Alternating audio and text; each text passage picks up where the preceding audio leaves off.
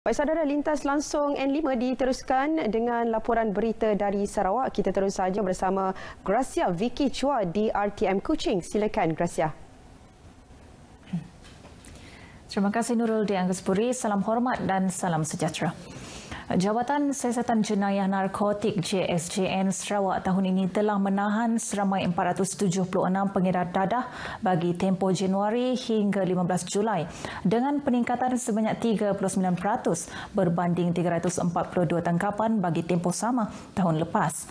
Pesuruhjaya Polis Sarawak Dato' Azman Yusof mendedahkan kesemua tangkapan adalah di bawah Akta Dadah Berbahaya kategori bekalan 1952 dan Akta Dadah Berbahaya lang langkah-langkah pencegahan khas 1985. Iaitu di bawah Akta Dadah Berbahaya 1952, 442 orang dalam kategori pengedar telah ditangkap. Manakala di bawah Akta Dadah Berbahaya langkah-langkah pencegahan khas 1985 iaitu tindakan preventif yang kita buatkan iaitu selama 34 orang telah ditangkap. Manakala bagi tempoh Januari hingga 15 Julai, rampasan harta pengedar-pengedar dadah di bawah Akta Dadah Berbahaya perlu cutakan harta 1988 telah mencatatkan sitaan sebanyak lebih 3.7 juta ringgit iaitu peningkatan sebanyak 232.8% berbanding lebih 1.1 juta ringgit bagi tempoh sama tahun lepas. Beliau mendedahkan demikian dalam sidang media bersempena Majlis Pelancaran Pusat Sehenti Khidmat Masyarakat OAC Jawatan Kuasa Bahagian Penguatkuasaan Pencegahan Pengedaran Dadah dan Substance Peringkat Kontingen Sarawak PDRM di tapak lapangan terbang Lama Bintulu.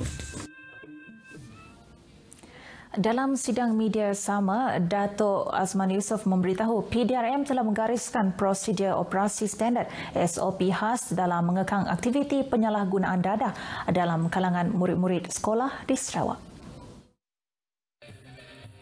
Jelasnya SOP murid kontingen Sarawak itu telah dilancarkan pada 10 Januari 2019 dan dilaksanakan di seluruh Malaysia bermula 13 Februari 2019. Dan SOP ini adalah SOP yang pertama diwujudkan untuk uh, tindakan kita dalam hal menangani uh, isu murid-murid yang terlibat dengan dadah. Jadi uh, dengan apa yang telah kita wujudkan SOP ini telah diterima pakai di peringkat uh, federal mengambil alih melihat dan mengambil tindakan sebagaimana yang kita wujudkan SOP ini. Dato Azman berkata setakat 22 Julai 2019 di bawah SOP khas ini polis telah berjaya menangkap 14 pengedar di bawah Akta Dadah Berbahaya langkah-langkah pencegahan khas 1985. Jadi dalam hal ini betapa seriusnya kita melihat gejala-gejala dadah yang mana sentiasanya umum menyatakan masalah dadah di peringkat murid-murid sekolah. Jadi kita menanganinya dengan satu SOP dan Alhamdulillah kita telah berjaya menangkap pengedar-pengedar dadah. Yang 14 orang ni adalah pengedar, bukannya murid-murid sekolah. Tetapi kita membasmi dengan cara menangkap pengedar-pengedar dadah itu. Justru beliau menasihati semua pihak terutamanya ibu bapa dan guru supaya memainkan peranan dalam memantau kegiatan dan tingkah laku murid-murid. Penduduk di Kampung Jemukan Asajaya petang semalam dikejutkan dengan penemuan mayat terapung di tepi sungai kampung berkenaan. Menurut Ketua Polis Daerah Sabarahan DSP Lee Chong Chen, mayat itu ditemukan terapung di tebing sungai berhampiran SK Jemukan sekitar pukul 6 petang. Pengecaman awal oleh saksi kejadian telah mengenal pasti mangsa sebagai Suhaidi Along, 41 tahun yang juga penduduk kampung itu. Siasatan awal mendapati mangsa hanya menggunakan baju T dan berseluar pendek, juga terdapat kesal luka di bahagian kepala sebelah kiri. DSP Lee yang dihubungi pemberita RTM turut mengesahkan pihaknya tidak menjumpai unsur-unsur jenayah lain di badan mangsa. Buat masa ini, kes diklasifikasikan sebagai mati mengejut sehingga proses berdasiasat dijalankan. Sementara itu di Sibu, seorang janda merupakan antara empat individu yang ditahan dalam operasi khas narkotik kerana dipercayai terlibat dalam kegiatan pengedaran dadah di bandar itu. Menurut Ketua Jabatan Siasatan Jenayah Narkotik IPK Sarawak, Superintendent Zahar Abdul Latif, kesemua suspek yang berumur antara 26 dan 50 tahun itu ditahan di dua premis berasingan di Jalan Tunku Osman Sibu hasil risikan polis.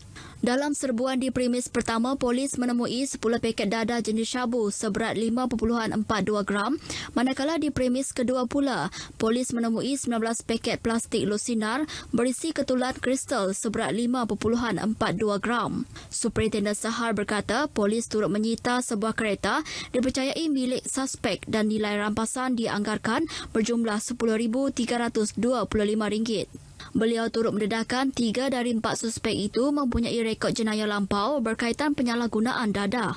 Kes disiasat di bawah Seksyen 39B, Seksyen 39A kurungan 1, Seksyen 12 kurungan 2 dan Seksyen 1 kurungan A, Akta Dadah Berbahaya 1952, sabit kesalahan mereka berdepan hukuman gantung mandatori. Ketua Pejabat Konsulat Jepun bagi Sabah, Sarawak dan Wilayah Persekutuan Shiso Kako hari ini mengadakan kunjungan hormat terhadap Yang di-Pertua Negeri Tun Pehin Sri Abdul Mahmud di Demak Jaya, Kuching. Kunjungan hormat itu merupakan kunjungan pertama beliau setelah mula berkhidmat sebagai Ketua Pejabat Konsulat Jepun bagi Sabah, Sarawak dan Wilayah Persekutuan yang beribu pejabat di Sabah sejak Januari tahun ini.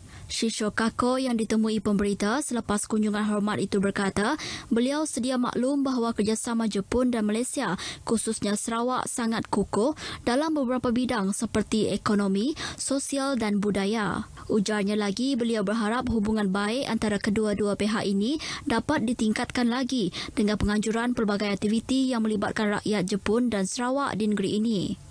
Sementara itu, yang di Pertua Negeri Tun Pen Sri Abdul Taim Mahmud turut menerima kunjungan hormat pengarah pejabat wilayah Sarawak Kementerian Luar Negeri, Dedi Faisal Ahmad Saleh. Kunjungan itu bagi memaklumkan perpindahan beliau yang dilantik memegang jawatan sebagai Menteri Penasihat di Suruhanjaya Tinggi Malaysia di Islamabad, Pakistan berkuat kuasa bulan hadapan setelah berkhidmat selama setahun sebagai pengarah pejabat wilayah Sarawak Kementerian Luar Negeri. Di Limbang, penglibatan orang ramai dalam kegiatan sukan dan rekreasi membuktikan penduduk setempat sedar akan pentingnya amalan gaya hidup sihat walaupun hanya dilakukan pada hujung minggu atau cuti umum. Kesedaran ini dapat dibuktikan melalui sambutan menggalakkan dalam program Fit for Fun yang diadakan bersempena sambutan Hari Sarawak. Memang sangat menggalakkan sebab